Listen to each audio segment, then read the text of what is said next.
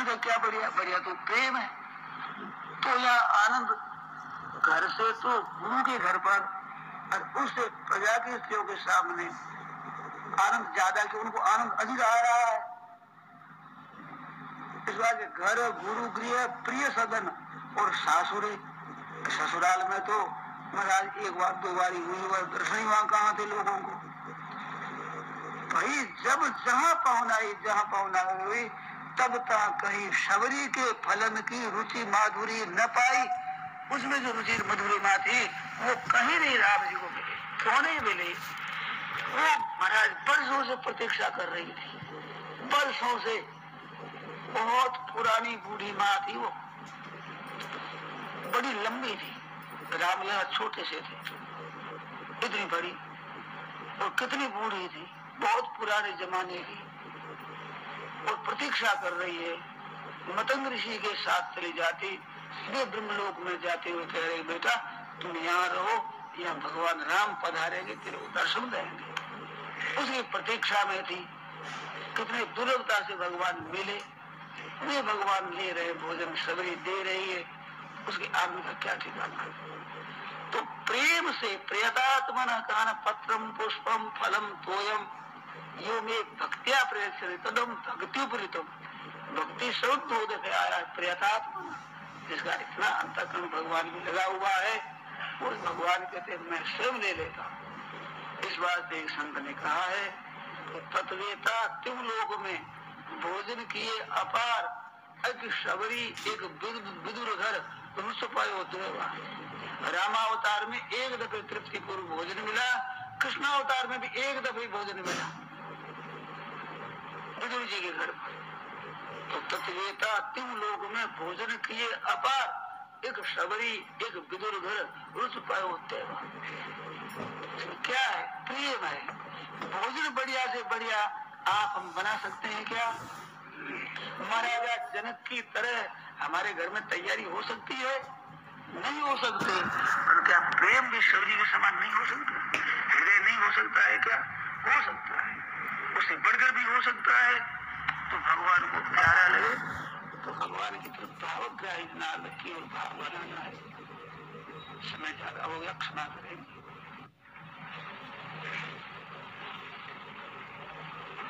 श्रीमारायण नारायण।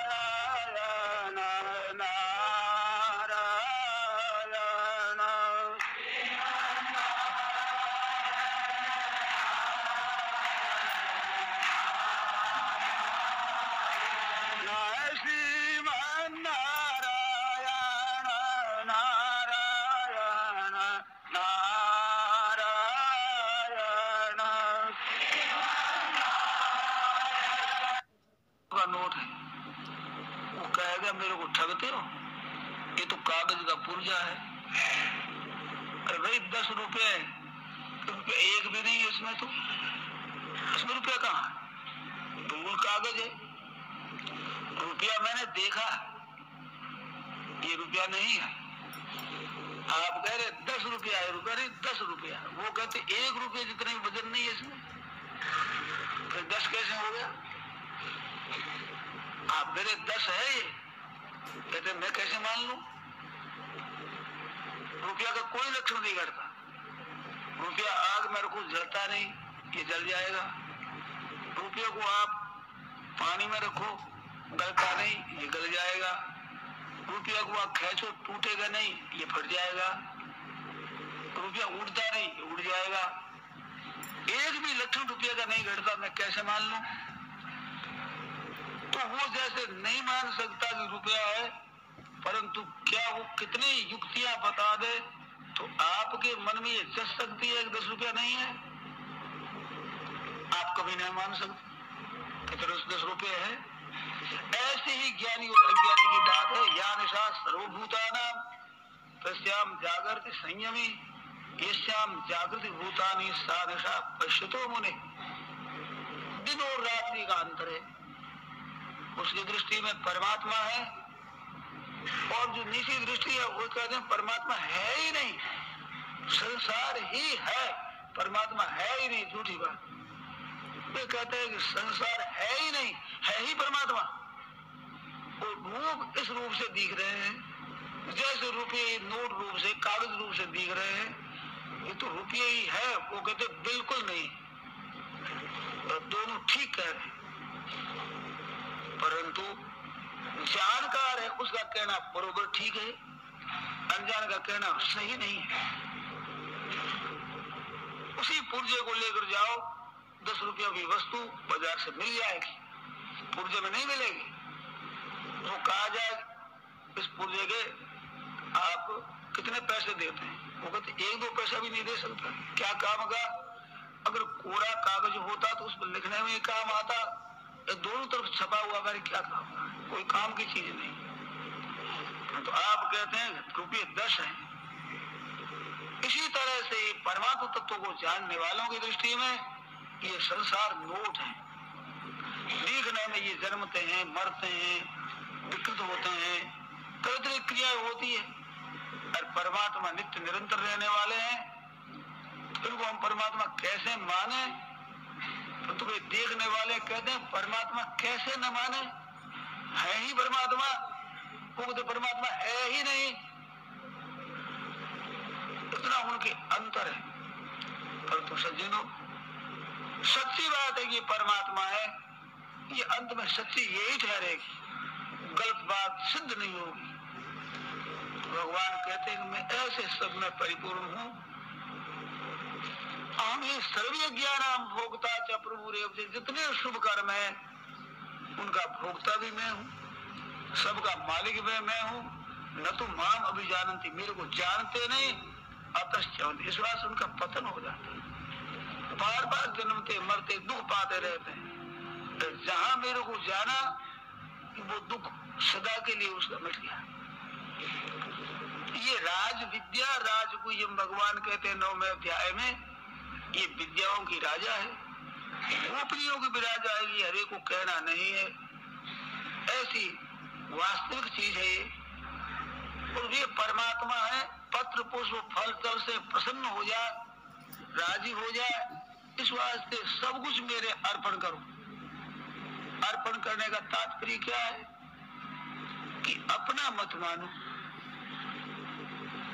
ये भगवान की वस्तु है ऐसा मानो। अपनापन किया है, यही हमने गलती की है। परमात्मा की वस्तु पहले से थी, अब भी है और अगर भी रहेगी। हमने बीच में आकर के छापा मारा है और कह रहे, हमारी, आप जितने भाई बहन विराजमान है अपने अपने घरों के आप मालिक बने हुए हैं, परंतु आपसे पूछा जाए, आज से सौ वर्ष पहले, दो सौ वर्ष पहले इस घर का मालिक कौन था? और सौ वर्ष के बाद मालिक कौन होगा? तो मैं पहले मालिक था, पीछे रहूँगा, ऐसा नहीं कह सकते। आपको यही मालूम होगा कि मैं तो बीच में आया हूँ ये बम्बई शहर ऐसे ही पहले बसता था और हमारे बिना भी ऐसे ही रहेगा। हम तो बीच में एक आ करके और अपनी डुगडुगी बजाते हैं। ये कर क्या लेते हैं हम? हम कुछ कर नहीं सकते, हमारा कुछ न है नहीं। परंतु तो अभिमान कर लेते हैं हमारा। ऐसी एक कहानी आती है, हमने पुस्तकों में पढ़ी है। एक गुरु जी थे, एक शिष्य थे। चले जा रहे थे। सुबह किस रोग में सो स्नान आदि करके और गाँव में पहुँचे। भिक्षा मिल गई, पा लिया। भिक्षा के बाद जाने लगे, बाहर तो घाम हो गया। तो शहर के बाहर एक बगीचा था। उस बगीचे में चले गए। किसी ने मना किया, नहीं, दोपहर के समय दरबार था नहीं। वो राजा की कोठी थी। भीतर में बहुत बड़े मकान है, वो कोठी बनी हुई है। उसमें चले गए। वो जाते हुए बात करते थे। तो गुरु जी ने कहा कि बेटा, सब जगह भगवान है और अपने भी उस भगवान में ही है। हम कुछ और बन जाते हैं तो और प्रतीत होते हैं। अगर हम कुछ बने नहीं तो उस प्रभु में ही हम स्थित है। इस वास्ते कुछ बनना नहीं। ऐसी बातें कह रहे थे। चले गए एक कमरा में गुरु जी, एक कमरा में चेला जी।